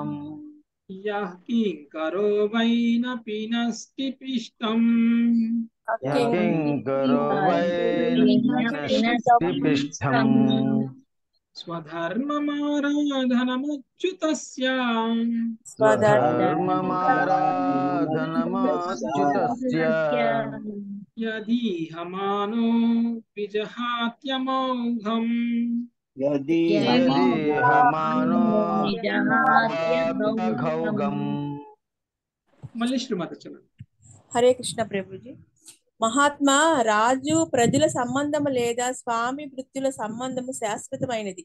కాదని నువ్వు పలికి శాశ్వతమైనది కాదని నువ్వు పలికితివి. కానీ అట్టి సంబంధము తాత్కాలికమే అయినప్పటికీ మనుషు రాజపదవిని చేపట్టినప్పుడు ప్రజలను పరిపాలించుట నియమో నియమోల్లంఘనము చేసిన వారిని దండించుట అతని ధర్మము కాగలదు. ఆ రీతిగా దండన విధించు ఆ రాజ్య రాజ్య చట్టములను ప్రజలు అనుసరించలాగిన బోధ గరుపుచుండలు చెవిటి మూగ అయిన వారిని శిక్షించుట అనగా రస రసరహిత పిప్పిని నములుట లేదా పిండిని విసురుట వంటిదని నీవు పలికితివి. అనగా అది ప్రయోజన శూన్యమని మీ భావము. అయినను భగవంతుడు ఆదేశించినట్లుగా మనుజుడు స్వధర్మను నియుక్తుడైనచో సమస్త పాపములు శమించగలవు. కనుకనే ఎవరేని బలవంతముగా స్వధర్మ పాలన నియోగించినచో దానిచే అతడు పాపములు నశింప చేసుకున్నందున ప్రయోజనమనే బడయగలడు. ఓకే. సో నువ్వు రాజు వేరు ప్రజలు వేరు రాజు నువ్వు రాజుగా ఉండడం వాళ్ళు ప్రజలుగా నీకు సేవకులుగా ఉండడము ఇవన్నీ కూడా నిజమైనటువంటి ఐడెంటిఫికేషన్ కాదు అనేటువంటి విషయాన్ని ఇంతకు ముందు ఆయన చెప్పారు. అంటే నిన్ను నువ్వు గుర్తింపబడము అనేటువంటిది నీ పదవితో గుర్తింపబడడం కాదు అనేటువంటి విషయాన్ని ఆయన ఇంతకుముందు చెప్పారు. అయితే ఈయన ఏమన్నాడు? నేను నా స్వధర్మాన్ని చేస్తున్నాను. నా స్వధర్మం ఏమిటి? అంటే నేను రాజుగా పాలన చేయటం ప్రజలను పాలించడం ప్రజలు నాకు సేవకులుగా పనిచేయటం. ఇది నువ్వు ఎంత కాదు అని చెప్పినా కానీ అది నిజమే కదా? సో నేను ప్రజల్ని నియమాలు ఉల్లంఘించినప్పుడు వాళ్ళని దండిస్తాను నేను. సో దండించడము అనేటువంటిది కూడా నా యొక్క వృత్తిలో భాగమే. మరి అలాంటప్పుడు నా వృత్తిని నేను కనుక వదిలేస్తే పాపం చేసినట్లు అవుతుంది. అదే కదా మనకు భగవంతుడు కూడా చెప్పాడు స్వధర్మ పాలన చెయ్యాలి అనేటువంటి విషయాన్ని. మరి అలాంటప్పుడు స్వధర్మ పాలనలో ఉన్నటువంటి వ్యక్తిని ఆ ఒకవేళ స్వధర్మ పాలన ఆపేస్తేనే పాపం జరుగుతుంది కదా. మరి అలాంటప్పుడు మరి నువ్వు అన్నటువంటి విషయం ఏదైతే ఉందో అది కరెక్ట్ కాదు అని నువ్వు అన్నావు నేను ఒప్పుకుంటాను. అది అశాశ్వతము అని కానీ కరెక్ట్ కాదు అని మాత్రం నేను ఒప్పుకోను అనేటువంటి విషయాన్ని చెప్తున్నాను అంటే నేను రాజుని అనేటువంటి విషయం నిజం. కాకపోతే నేను రాజుని ఎంతకాలము అంటే నేను శాశ్వతంగా రాజును కాకపోవచ్చు కానీ ఇప్పుడు మాత్రం నేను రాజునే అనేటువంటి విషయాన్ని ఆయన ఇండైరెక్ట్గా చెప్తున్నారనమాట అనమాట భాష్యము. రహుగణుడు చేసిన ఈ వాదము నిక్కమగా ప్రభావశీలమై ఉన్నది.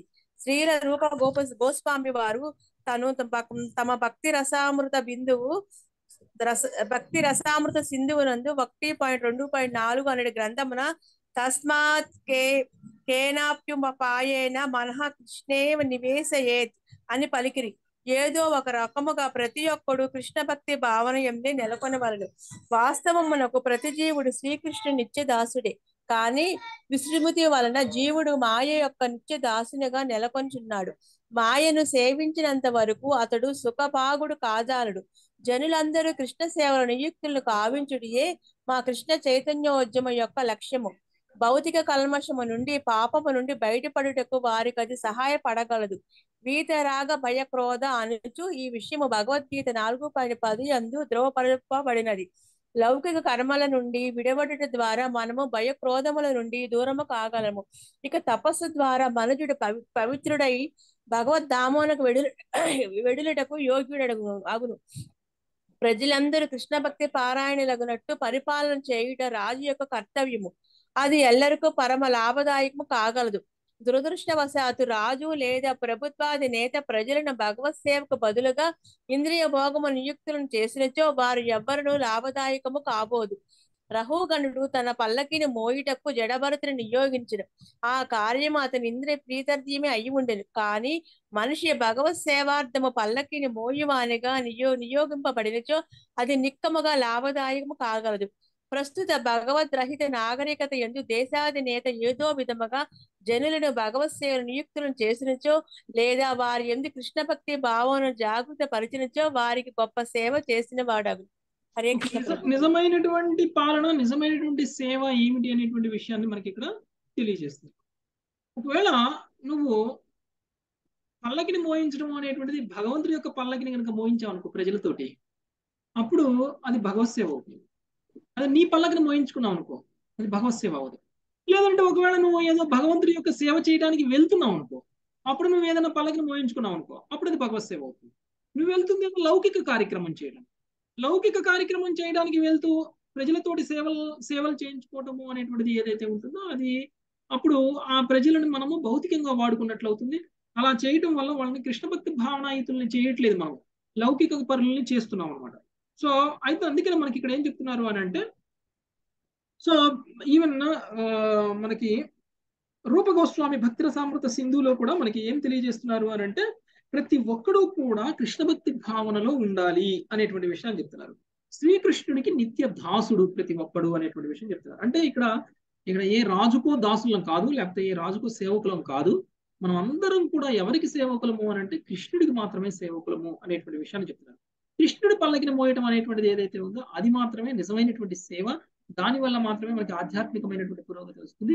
అది మాత్రమే మనల్ని నిజ స్థాయికి తీసుకెళ్ళగలుగుతుంది తప్ప లౌకికమైనటువంటి కర్మలు లౌకికమైనటువంటి సేవలు చేయటం వల్ల అది మనకి ఆ మనకి ఎప్- ఎప్పటికీ కూడా ముక్తిని తీసుకురాకూడదు. భయం నుంచి క్రోధం నుంచి మనము ఆ దూరులము కాలేము. లేకపోతే కనుక లౌకిక కర్మలను విడనాడ విడనాడినప్పుడు మాత్రమే అది సాధ్యమవుతుంది అనేటువంటి విషయాన్ని మనకి తెలియజేస్తున్నారు. సో ఇక్కడ రాహుగణుడి యొక్క పల్లకిని మోయటం ఏదైతే ఉందో జయ జడభరతుడు చేస్తున్నటువంటి పని అది రహుగణుడి యొక్క ఇంద్రియ ప్రీత్యర్థం చేయించుకుంటున్నారు తప్ప అది భగవత్ సేవ కాదు. అందుకనే రహుగణుని ఉద్దేశించి ఆయన ఆ మాట అన్నారు. తన్మే భవాన్నరదేవాభిమాన తన్మే భవాన్ రహేవా మదేన తుచ్చి కృత సప్తమస్య. కృషిష్ట మైత్రీ దుష్యమార్త బంధో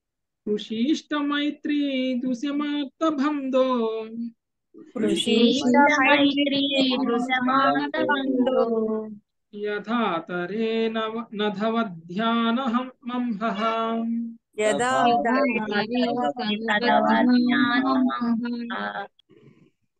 మళ్ళీ శ- ఆ, మళ్ళీ ఆ, చదివాను ప్రభుజీ హైమవతి మాట చదువు హరే కృష్ణ ప్రభు నేను బయట ఉన్నా ప్రభుకి లేదు ఓకే. కళావతి మాతాజీ మీరు చదువుతారా? చదువుతాను ప్రభుజీ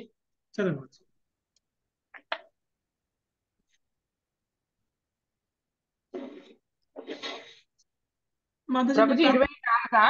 అవును మాతాజీ భాష నీవు పలికినదంతయు నాకు విపరీతముగా గోచరించుచున్నది. ఓ దీన బాంధవ దీన బాంధవ నిన్ను అవమానపరిచి నేను గొప్ప అపరాధము నర్చితిని రాజా రాజనైనందున మిథ్యా ప్రతిష్టతో గర్వితుడనై నేను నిక్కముగా అపరాధినైతిని. కనుక నిర్హేతుక కరుణతో నన్ను గాంచుమని వేడుకొనుచున్నాను. అట్లు చేసినచో నిన్ను అవమానించుట వలన కలిగిన పాపము నుండి నేను బయటపడగలను. మాతాజీ. అమృత మాతాజీకి ఇద్దాం. ఒకసారి. అమృత మాతాజీ మీరు చదువుతారా భాష్యం? ఎందుకు ప్రభుజీ? నేనే చదువుతాను కదా. సార్ చదవండి మాతాజీ. అమృత మాతాజీ చాలా రోజులు ఏం చదవక చూద్దాం. భాష్యము వైష్ణవ అపరాధముచే మనుజుడు తన వాసు సమస్తమగు ఆధ్యాత్మిక కర్మలను నష్టపరుచుకొని నా వాడగున్నని శ్రీ చైతన్య మహాప్రభు పలికిరి. వైష్ణవ అపరాధము మత్త జగము మత్త జగము కావించడి విషా వినాశనముతో పోల్చబడినది. ఎంతో శ్రమతో పెంచినట్టి పెంచినట్టి చక్కని ఉద్యానవనమును మత్త జగము మత్త గజము పూర్తిగా నాశనము చేయగలదు. మ భక్తి యోగపు అత్యున్నత స్థానము అత్యున్నత స్థానమును చే చేరి ఉండవచ్చును వచ్చుగాక. కానీ అతడు వైష్ణవ అపరాధమును కావించినచో భక్తి సౌ సౌధమే ఆ, కుప్పకూల కుప్పకూలగలదు రాహు రాహుగనుడు తెలియ తెలియక జడ భరతుని పట్ల అపరాధమునర్చెను కానీ వివేకము వివేకముతో అతడు వెంటనే క్షమాప క్షమాపణను వేడెను. వైష్ణవ అపరాధము నుండి బయటపడేది ఆ, విధానం అనేది మ- విధానం అనేదియే శ్రీకృష్ణ భగవానుడు ఎల్లప్పుడూ సర్వ సరళత్వ సరళ స్వభా స్వభావుడే దయామయుడే. కనుక వైష్ణవ అపరాధము జరిగినప్పుడు వెంటనే ఆ మహాత్ముని క్షమాపణ వేడి ఆధ్యాత్మిక పురోగతి కుటుంబ కుటుంబ కుట్టుబడని కుట్టుబడిలాగా కుంటుబడని లాగా. కుంటుబడని లాగా లాగా లాగు.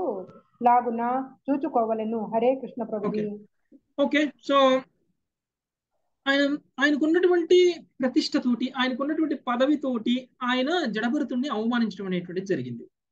సో ఎప్పుడైతే ఆయన బ్రాహ్మణుడు అని తెలుసుకున్నాడో అప్పుడు నేను వైష్ణవ అపరాధం చేశాను అనేటువంటి విషయాన్ని తెలుసుకోగలిగాడు. అయితే వైష్ణవ అపరాధం చేసినప్పుడు ఏమవుతుంది అని అంటే మన యొక్క ఆధ్యాత్మిక ప్రగతి కుంటుపడుతుంది. సో అలా ఆధ్యాత్మిక ప్రగతి కుంటుపడకుండా ఉండాలి అని అంటే ఏ వైష్ణవుడు ఎడైతే మనం అపరాధం చేశామో ఆ వైష్ణవుని పిలిచి మనం ఆయన్ని ఆయన ఆయనకి క్షమాపణ వేడుకుంటే ఆయన ద్వారా ఆయన మళ్ళీ మనం క్షమాపణ వేడుకొని ఎప్పుడైతే ఆయన అంగీకరిస్తాడో మన తప్ప మన మనల్ని క్షమిస్తారో అప్పుడు మళ్ళీ మనకి ఆధ్యాత్మికంగా పురోగతి అనేటువంటిది లభిస్తుంది. సో మనం ఇంతకు ముందు కూడా ఒక స్టోరీ చెప్పుకున్నాం. భక్తి వినోద్ ఠాకూర్ కూడా ఒకసారి ఇలానే ఆ ఒక వైష్ణవాపరాధం చేయటం అనేటువంటి జరిగింది. ఆయన ఎప్పుడో ఆయన ధ్యానంలో ఉన్నప్పుడు ఆ ఆయన ధ్యానంలో భక్తి వినోద్ ఠాకూర్ కాదు ఆయన రూపగోస్వామి. సో రూపగోస్వామి ధ్యానంలో ఉన్నప్పుడు ఆయన ధ్యానంలోనే ఆయన కృష్ణలీలల్ని రమిస్తూ ఉంటారు. సో కృష్ణలీలల్లో ఉన్నటువంటి ఆయన ఏదో ఎవరో అక్కడ ఏది గోలోక బృందావనంలో కృష్ణుడు చేస్తున్నటువంటి లీలల్ని ఆలకిస్తున్నటువంటి ఆయన చూస్తున్నటువంటి ఆయన అక్కడ జరిగినటువంటి సంఘటనకి ఆయన నవ్వడం అనేటువంటి జరుగుతుంది. బయటకు చూసినటువంటి వ్యక్తులకి ఏమనిపిస్తుంది అని అంటే బయట ఏదో నవ్వుతున్నాడు అని అనుకుంటారు. కానీ ఆయన యాక్చువల్గా ఆయన అక్కడ లేడు. ఆయన ఆత్మతోటి ఆయన భగవంతుడి యొక్క ధామంలో జరుగుతున్నటువంటి లీలల్లో భాగం పంచుకుంటూ ఉన్నాడు. అది విన్నటువంటి వ్యక్తి అక్కడ దగ్గరలోనే ఉన్నటువంటి ఒక వైష్ణవుడు ఏమనుకుంటాడు అని అంటే ఈయన ఏంటి ఈయన నేను ఇక్కడ నిలబడుతూ ఉంటే నన్ను చూసి ఈయన నవ్వుతున్నాడు అని అనుకుంటారు ఆయన. యాక్చువల్గా ఆయన నవ్వుతున్నది కళ్ళు మూసుకొని ధ్యానంలో నవ్వుతున్నాడు ఆయన. కానీ అక్కడ ఏమనుకుంటారు అని అంటే ఆయన ఇంకొక వైష్ణవుడు ఏమనుకుంటాడు అని అంటే ఆయన నన్ను చూసి నవ్వుతున్నాడు అని అనుకుంటారు. ఎప్పుడైతే అనుకున్నారో యాక్చువల్గా రూపగోస్వామి ఆయన కావాలని ఏం చేయలేదండి. చెయ్యకపోయినా కానీ ఆయన యొక్క సాధన అనేటువంటిది పతనం చెందింది. ఆయనకి కా ఆయనకి రావాల్సిన కాన్సన్ట్రేషన్ రావట్లేదు. ఆయన ధ్యానంలో ఆయన భగవంతుడి యొక్క లీలల్లో భాగం పంచుకోలేకపోతున్నాడు. ఏం జరిగిందో అర్థం కావట్లేదు. సో ఎప్పుడైతే ఇది జరిగిందో వెంటనే ఆయన ఆలోచించడం మొదలుపెట్టారు. నేను ఎవరి ఏడైనా అపరాధం చేశానా? ఎవరైనా వైష్ణవుడి ఏడ అపరాధం చేశానా? అందుకే నేను నాకు భగవంతుడి మీద మనసుని సంలగ్నం చేయలేకపోతున్నాను అని అనుకుంటారు. అప్పుడు అందరినీ పిలిచి భోజనం పెడతాడు. ఎవరైతే ఆయన భోజనానికి రాలేదు అంటే ఒకవేళ వైష్ణవ అపరాధం ఎవరితో ఎవరి దృష్టిలో జరిగింది అనుకోండి వాళ్ళు రారు. సో భోజనానికి పిలిచినప్పుడు ఎవరైతే రాలేదో వాళ్ళ ఎడ ఈయన అపరాధం చేసినట్లు అని తెలుసుకొని వాళ్ళ దగ్గరికి వెళ్ళి క్షమాపణ అడగడం అనేటువంటిది జరిగింది. ఇది వివే వివేకంతో చేసేటువంటి పని. తెలియక చేసినా కానీ వివేకంతో చేయాల్సినటువంటి తప్పు తెలియకనే జరిగింది. వైష్ణవ అపరాధం తెలియకనే జరిగింది. అయినా కానీ ఆయన వివేకాన్ని ఉపయోగించి ఆ వైష్ణవుడి దగ్గరికి వెళ్ళి క్షమాపణ కోరుకోవడం వల్ల మళ్ళీ ఆయన ఆధ్యాత్మిక పురోగతి అనేటువంటి జరగడం అనేటువంటి జరిగింది. అట్లనే ఇక్కడ రహుగణుడు కూడా జడభరతుడు ఆయన అపరాధం చేశాడు. ఇప్పుడు జడభరతుడినే క్షమాపణ కోరుకుంటున్నారు. అది చాలా వివేకవంతమైనటువంటి పని. అలా చేయటం వల్ల ఆయన కూడా ఆధ్యాత్మికంగా పురోగమిస్తారు అనేటువంటి చెప్తుంది నవిక్రియా విశ్వ సుహృత్సకస్య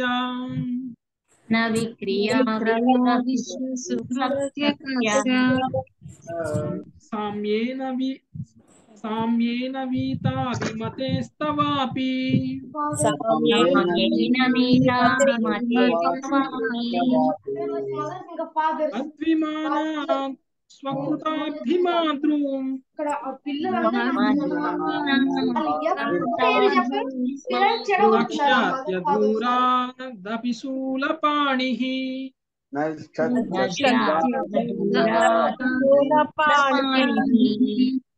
రామారావు గురించి చదువుతారా హరే కృష్ణ ప్రభుజీ.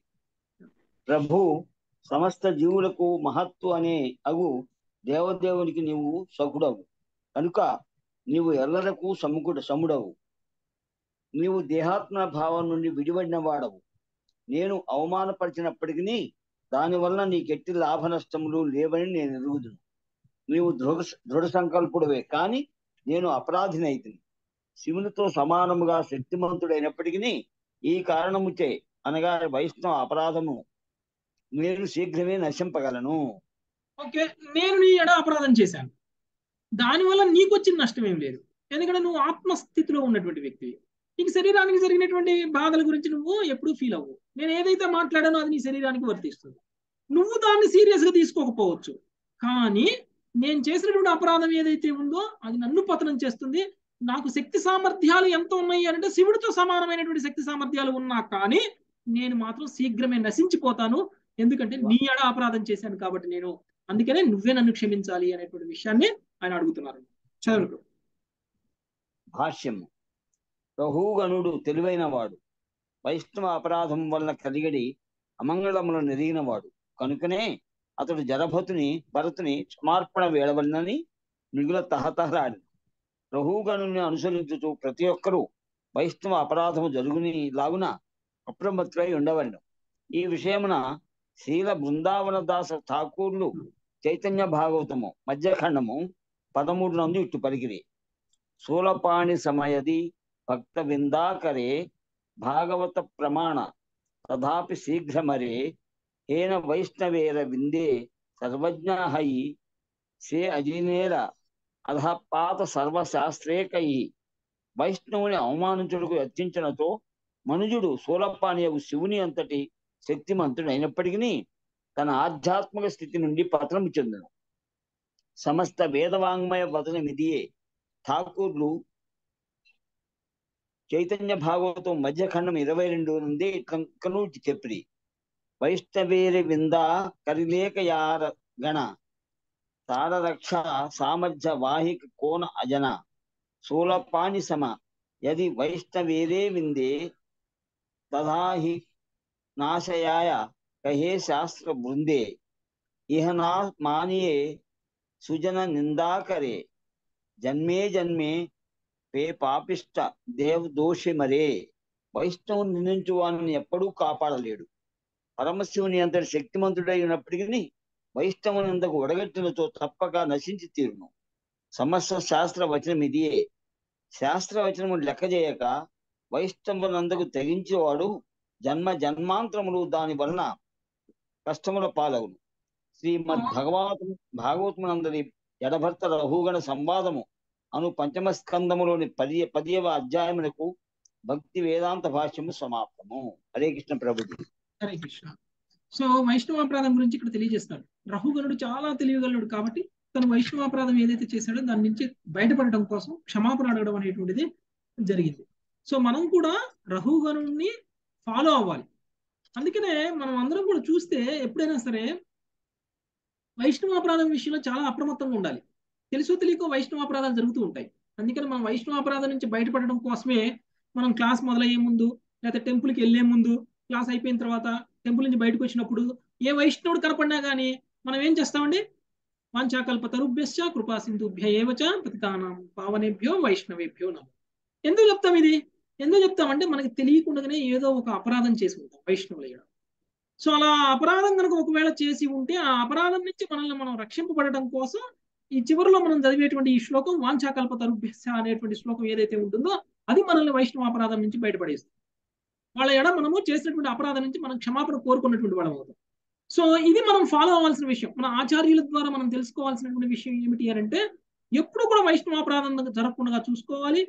రాహుగరుడు కూడా అదే చేస్తున్నాడు. వైష్ణవాపరాధం జరిగిపోయింది కానీ క్షమాపణ కోరుకుంటున్నాడు. ఆయన చూసి మనం కూడా అదే నేర్చుకోవాలి అనేటువంటి విషయం చెప్తున్నారు. ఇక్కడ చైతన్య చరితామృతంలో కూడా మనకి అదే విషయాన్ని తెలియజేయడం అనేటువంటి జరిగింది. సమస్త శాస్త్రాల్లోనూ కూడా అదే విషయం తెలియజేయబడుతుంది.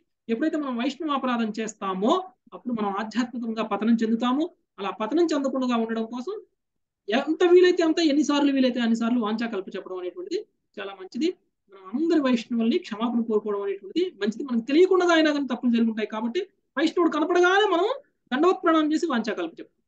సో అందుకే అన్నమాట. సో వాళ్ళ ఎడ మనకి ఎలాంటి వాళ్ళ వాళ్ళ ఎడ మనం ఎప్పుడైనా సరే అపరాధం చేస్తే దాని నుంచి మనం ముక్తులు అవడం కోసం అలా మనం చేస్తాం. సో ఇంతటితోటి మనకి పదవ అధ్యాయం కంప్లీట్ అవుతుంది. ఇప్పటి వరకు కూడా రహుగణుడు ఆ తనకి ఆ తనకి ఉపదేశం చేయమని చెప్పేసి జడభర్తుని అడగడం అనేటువంటి జరిగింది. తను చేసినటువంటి అపరాధానికి క్షమాపణ కోరుకోవడం అనేటువంటి జరిగింది. వచ్చే అధ్యాయంలో జడభరతుడు రహుగణుడికి ఉపదేశం చేయడం అనేటువంటి జరుగుతుంది. సో అది ఏమిటి అనేటువంటిది రేపటి నుంచి చూద్దామండి. Thank you very much Hare Krishna ఎవరికైనా ఏమైనా ప్రశ్నలు ఉంటే తీసుకుంటాం